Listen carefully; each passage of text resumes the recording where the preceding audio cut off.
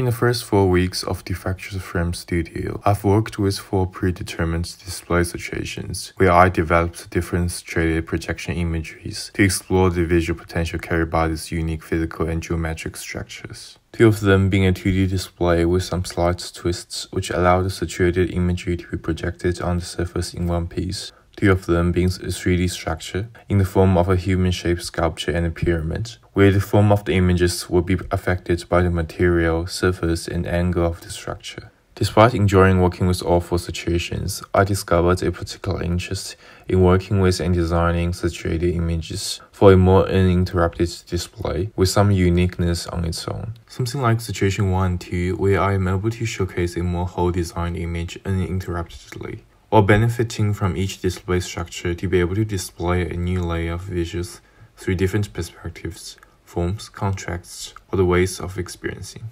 Inspired by the mirrored imagery idea from Situation 1, as well as some of the works done by Yayoi Kusama and Team Lab, which involves creating an infinite space made of imageries using mirrored reflection in a closed space. The audience being the observer outside of the world happening inside the digital screen for most of the display situations in our day-to-day -day life whether it is a mobile phone, monitor, or as display board. The idea from both Kusama and TeamLab of inviting the audience to become a part of the image itself using a mirror room situation really fascinated me. As this is shift of identity and position from the audience simply being a third-party viewer to a participant of the image. Our figure and body actions in this mirrored room would contribute to and become a part of the imagery through the infinite reflections. So in a way, we entered and living in the world inside of the digital display. With the intention to create an immersive mirror space, I propose a cube display structure for situation 5, where the projection screen is surrounded by four pieces of mirror as shown in the graph. Any still moving image projected to the display would be reflected and created into an infinitely looping visual through the mirrors. The situation could be in room size with the audience and projector located inside of the cube, with an additional surface of mirror to make up a closed space, as it will offer the maximum level of immersion without any object objects outside of this space spotted in the reflections. However, given time and resources, the situation for this course can be reduced in the smaller version of the room size idea. Placed on the desk or the ground with one surface left open for the projection light coming through, the structure should be in a reasonable scale to still be able to create that immersive experience, while inviting the audience to become a part of the image through the infinite re reflections. Situated imagery-wise, just like the iconic series of dots work by Kusama and various licensed installations by TeamLab,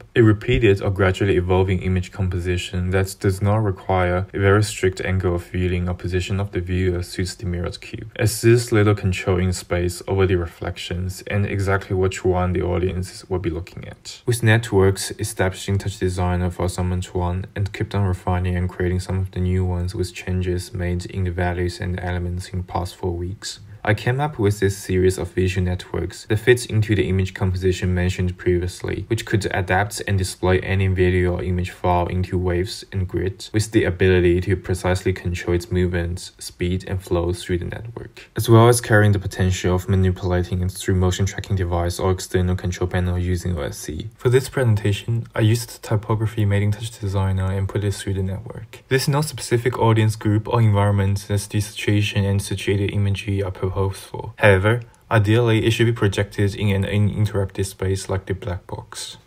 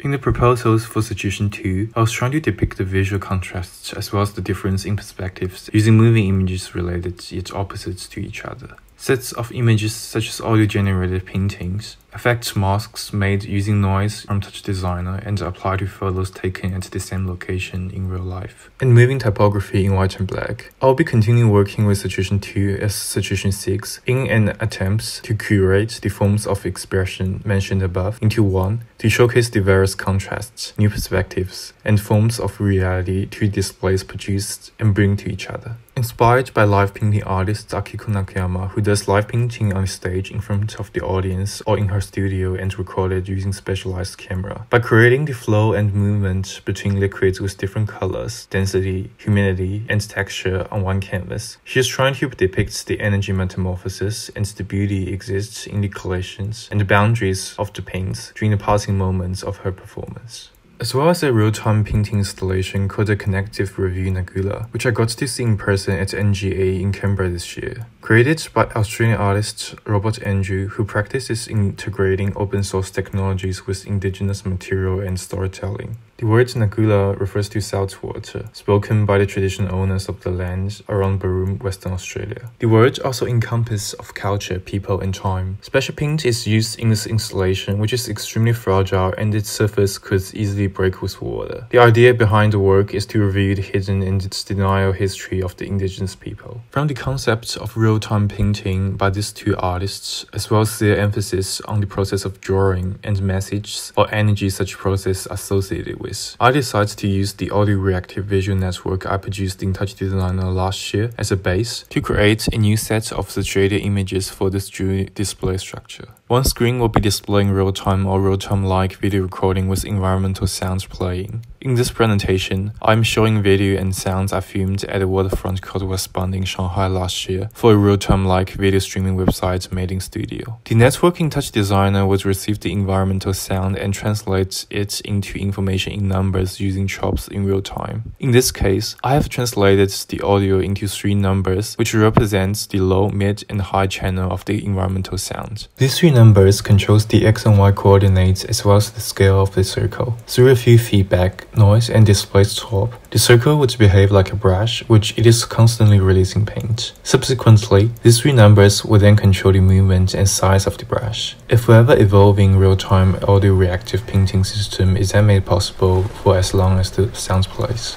Each video with its unique environmental sound which produce a completely different painting on its own. Changes are being made to the network compared to how it looks like last year in order to reproduce and refine it for this situation. Things like changing values in the lines of chops, especially with math, so the brush wouldn't move too little or go too far beyond the canvas, as well as adjusting all the feedback and noise and trying to give the final visual a look and texture close to the oil paint texture rather than machine generated. There's still some research and trials needs to be undertaken in order to achieve the desired effect. The process of digitalization is what I'm trying to experience with in this proposal. Information from the state of the reality we perceive is extracted by the machine and media, which it then interprets and reproduces such information into a new form, the outcome being the new state of reality in its own environment and scale. With the dual display structure, I'm trying to highlight the contrasts and different perspectives and ways of experiencing the reality. As this infinite potential carried within those information we usually take for granted in day-to-day -day life, such as environmental environmental sound. Approaching assignment 3, situation 6 is the situation I'm currently intending on keeping pursuing as I feel like there's a lot of potential in terms of the relationship and the contrasts that I want to explore with this dual screen structure, as well as the visual styles and effects that I had in mind but yet not sure on how to execute them in Touch Designer. However, if there's an opportunity in the future where I am able to work with a structure closer to the room size mirrored cube I discussed previously, I would also like to develop further with the wave and grid network works, as well as the idea of creating an immersive space with audience become a part of the image.